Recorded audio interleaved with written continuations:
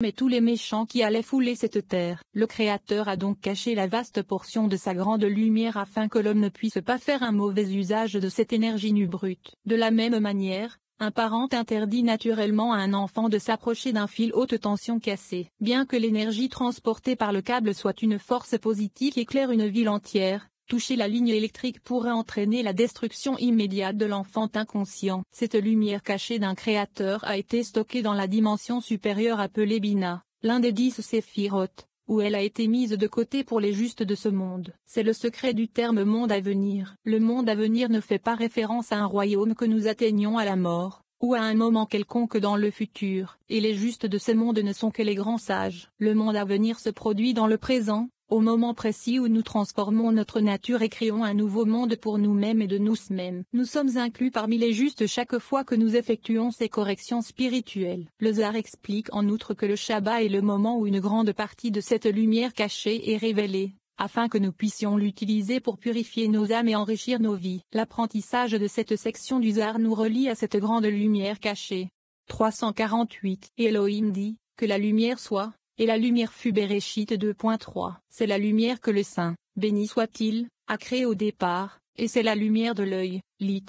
La vue. C'est la lumière que le Saint, béni soit-il, a montrée à Adam et grâce à laquelle Adam a vu d'un bout à l'autre du monde. Et c'est la lumière que le Saint, béni soit-il, a montrée à David, qui a dit en guise de louange, Oh, comme est grande ta bonté, que tu as mise en réserve pour ceux qui te craignent. Tezillim 31 2.20 C'est la lumière que le Saint, béni soit-il, a utilisée pour montrer à Moshe, qui a vu toute la terre d'Israël, de Gilad à Dan. 349 Lorsque le Saint, béni soit-il, avait prévu trois générations de pécheurs, à savoir la génération d'Enoch, la génération du déluge et la génération de la tour de Babel, Babylone, il cacha cette lumière pour les empêcher de l'utiliser. Le Saint, béni soit-il, la donna à Moshe, qui l'utilisa pendant les trois mois qui lui restaient pour achever sa période de grossesse, car il naquit au bout de six mois et un jour. C'est pourquoi il est écrit, elle le cache à trois mois Chemo 2 2.2 350 Au bout de trois mois, après la fin de la grossesse avec Moche, il entra chez Paro. En d'autres termes, la fille de Paro le trouva au bord du Nil et la mena à Paro. Le saint, béni soit-il, lui a retiré cette lumière jusqu'à ce que Moshe se tienne au mont Sinaï pour recevoir la Torah. Puis il lui rendit cette lumière et Moshe utilisa cette lumière toute sa vie. Et les enfants d'Israël n'ont pas pu s'approcher de lui jusqu'à ce qu'il mette un voile sur son visage, comme il est écrit. Et ils avaient peur de s'approcher de lui. Chemo 34 2.30. Il s'est couvert de cette lumière comme d'un talis, comme il est écrit qui se couvre de lumière comme d'un vêtement. Tehillim 104 2.2 351 Que la lumière soit, et la lumière fut. Tout ce qui commence par que la lumière soit Thèbes.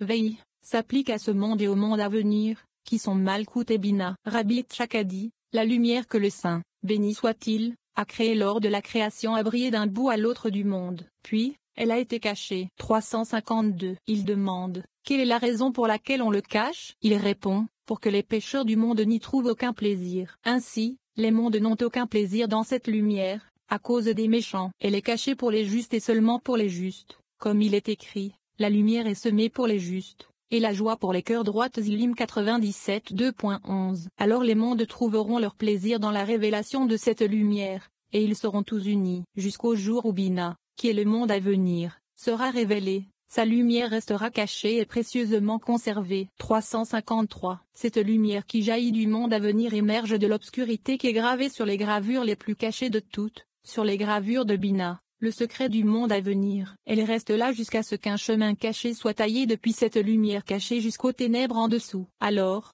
la lumière réside et repose en elle, ce qui signifie qu'elle est révélée dans tous les mondes. Quelles sont ces ténèbres en bas C'est l'obscurité que l'on appelle nuit, à savoir le principe féminin de Zahir Ampine, comme il est écrit, et il appela les ténèbres la nuit. 354. Par conséquent, nous avons appris le verset, il découvre des choses profondes à partir des ténèbres Io 12h22. Rabbi Ozi a dit, on peut dire, à propos du sens de ce verset, qu'à partir de l'obscurité cachée, de l'obscurité de Bina, des choses profondes sont révélées, mais que toutes les couronnes suprêmes de Bina sont cachées. C'est pourquoi elles sont appelées choses profondes dans le verbe scriptaire. Que signifie le verset Il découvre des choses profondes, puisqu'elles ne sont pas du tout révélées. Rabbi Ozi répond, toutes ces choses profondes et suprêmes ne sont révélées que de l'intérieur de cette obscurité, qui est le secret de la nuit, qui est le principe féminin. Venez et regardez, toutes ces choses profondes cachées qui émergent de la pensée, Bina, que la voix Zahir-Rampine, reprend, ne sont pas exposées jusqu'à ce que la parole les manifeste. Il demande, qu'est-ce que la parole? Il répond,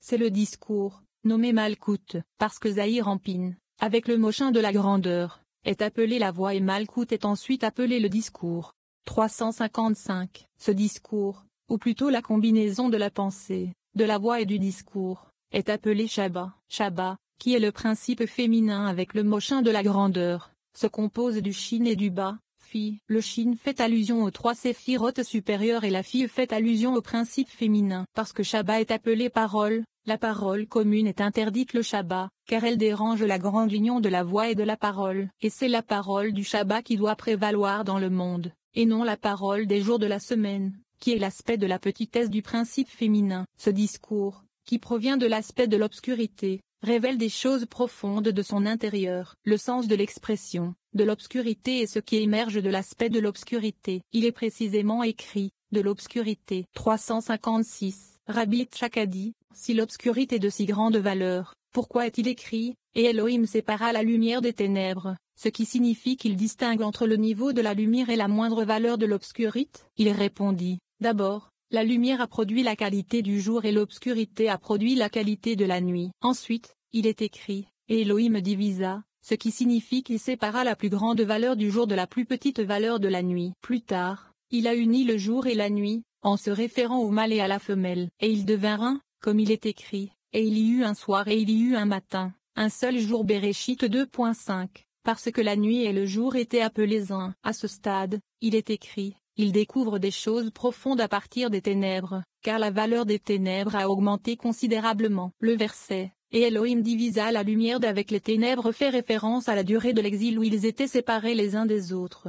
357. Rabbi Tchakadi, jusqu'à ce point, jusqu'à l'étape de l'accouplement, le mâle était la lumière et la femelle les ténèbres. Ensuite, le mâle et la femelle sont unis pour ne faire qu'un, pour être un. Alors il a demandé, pourquoi sont-ils divisés que le verset dit deux? Et Elohim sépara la lumière de l'obscurité. Il répond, pour distinguer la lumière de l'obscurité, les classes sont d'abord séparées les unes des autres. Ensuite, les avantages et les inconvénients de la lumière seule et de l'obscurité seule deviennent évidents. Ensuite, elles s'accouplent et ne font plus qu'un, et elles ont besoin les unes des autres, car la lumière a besoin des ténèbres. La lumière du Zahir Rampine n'est pas complète par la lumière de la à moins qu'elle ne soit combinée avec l'obscurité du principe féminin. Et l'obscurité nécessite la lumière, car l'obscurité du principe féminin n'est pas complète sans être unie à la lumière. Même s'ils sont différents dans leurs aspects, ils sont devenus un, comme il est écrit. Un jour. 38. Si mon alliance n'est pas jour et nuit. Rabbi Shimon révèle ici des secrets concernant le rituel de la circoncision et son lien avec le séphirah d'Ilzod. Ilzod est comme un réservoir dans lequel toutes les séphirotes supérieures déversent leur force énergétique. Ilzod rassemble tous ces éléments, les mélange,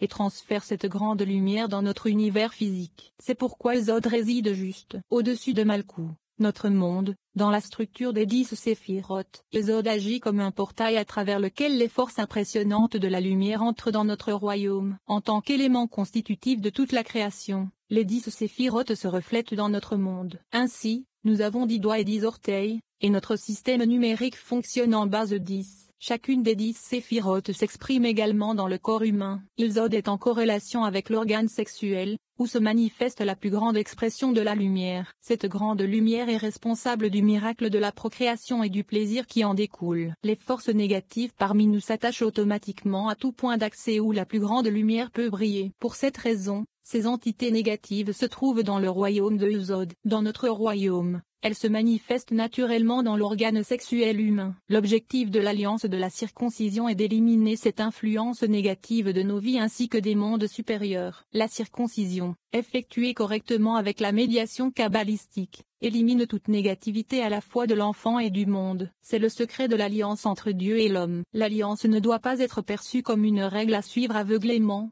mais comme la révélation d'une loi universelle du cosmos que l'on suit pour son propre intérêt et sa sagesse. De même, un homme rationnel ne sautera pas du rebord d'un immeuble de peur de violer la loi universelle de la gravité. Il n'a pas besoin de loi stricte pour l'empêcher de commettre des actes aussi périlleux. L'acte de circoncision est ancré dans les bénéfices spirituels apportés à l'enfant, notamment le renforcement de son système immunitaire. Bien que de petite taille, le prépuce contient de puissantes forces négatives, comme s'il s'agissait d'une ogive nucléaire à la pointe d'un missile balistique. Tout au long de la vie, en ce qui concerne Eusode et les relations sexuelles, il est bénéfique pour l'homme de maintenir la pureté et la propreté obtenues lors de la circoncision. Cependant, le kabbaliste ne considère pas les vagues concepts de morale et d'éthique comme une motivation pour maintenir les relations sexuelles dans les limites spirituelles du mariage. C'est plutôt notre propre compréhension spirituelle des forces métaphysiques à l'œuvre qui donne l'impulsion. L'autorité religieuse doit être retirée de l'équation,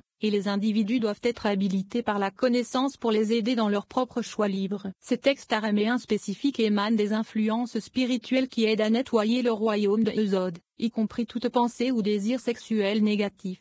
358. Rabbi Shimon a dit, le monde a été créé et est soutenu par l'alliance, comme il est écrit, si mon alliance n'est pas le jour et la nuit, c'est comme si je n'avais pas établi les ordonnances du ciel et de la terre. Irmeia 33 2.25. Il demande, qui est l'alliance? Il a répondu, il est le juste, le fondement éternel, lit du monde, le secret du souvenir. Par conséquent, le monde, qui est le principe féminin, est établi sur l'alliance qui unit le jour et la nuit, qui sont hommes et femmes, comme un seul. Il est écrit, si mon alliance n'est pas le jour et la nuit, c'est comme si je n'avais pas établi les ordonnances du ciel et de la terre, et les ordonnances du ciel s'appliquent au Mochin, qui coule de l'Éden supérieur.